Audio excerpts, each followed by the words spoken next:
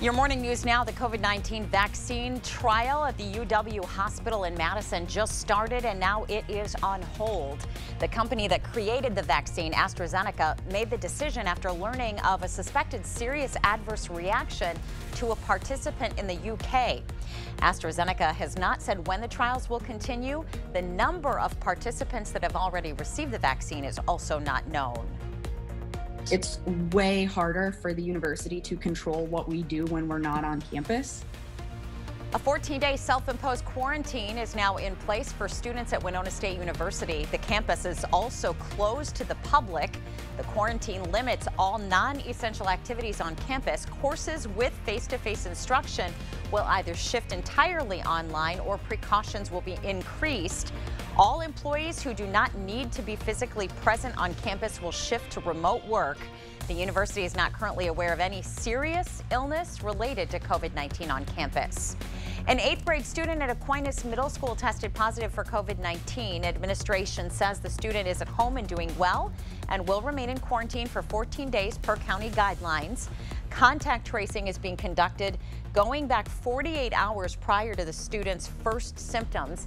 No other students will need to quarantine, but families are asked to keep an eye on potential signs of symptoms.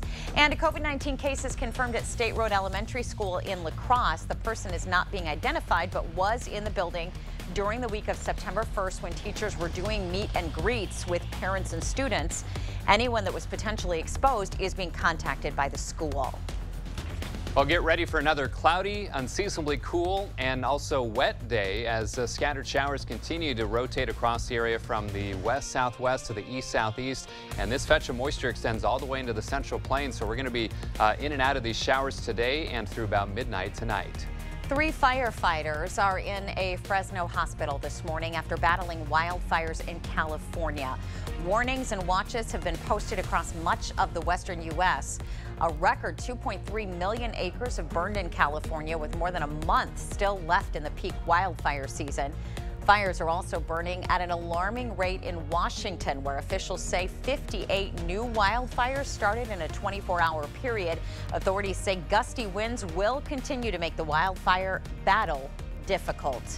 A new task force in Madison is addressing racial disparities in police policies following the shooting of Jacob Blake in Kenosha. The task force will bring different community representatives together to develop a bipartisan package of bills for the next legislative session. It will also evaluate a package of bills that Democrats proposed in June guidelines that the Wisconsin Police Association released last week and bills that were signed into law in other states across the country. I really believe it adds a layer of protection to both the officers and the citizens um, from either side. The Onalaska Police Department is requesting body cameras in the city's 2021 capital budget. The department's police chief, Charles Ashbeck, is requesting $85,000 for 31 body cameras. He says the equipment will help the department be more transparent and benefits both the community and police. Happening now, some of America's best soldiers are at Fort McCoy to show off their skills. Members of the Army Reserve from across the U.S. are competing in the 2020 U.S. Army Reserve Best Warrior competition.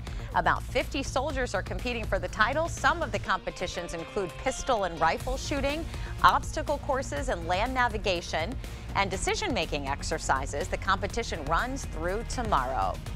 Volunteers in our community are making sure every kid has a comfortable bed to sleep on. The La Crosse County chapter of Sleep in Heavenly Peace is holding its biggest bed build to date. It's happening on September 19th at Timmer's 10 Mile Pub just off of County Road YY. The Shelby Volunteer Fire Department and St. Joe's Lions Club will be putting together 60 beds. If you know a child in La Crosse County between the ages of 3 to 17 in need of a bed, you can visit shpbeds.org to request one. Well, we had off and on uh, generally light rain showers overnight. Still some light rain showers scattered about this morning with temperatures in the 40s, and they're not going to move much at all with periods of showers. Highs only around 52 degrees. That would set a new record cool high for the date, which is 56 set uh, way back in 1901. Frost advisory tonight, uh, 1 a.m. to 8 a.m. tomorrow for uh, Chippewa and Dunn counties with temperatures perhaps in the low to mid 30s there. Otherwise, partial clearing overnight, maybe some fog in spots late tonight, early tomorrow. Otherwise, highs tomorrow around 64. We want to thank you for sharing your morning with us and hope you have a great day. We'll look forward to seeing you right back here tomorrow.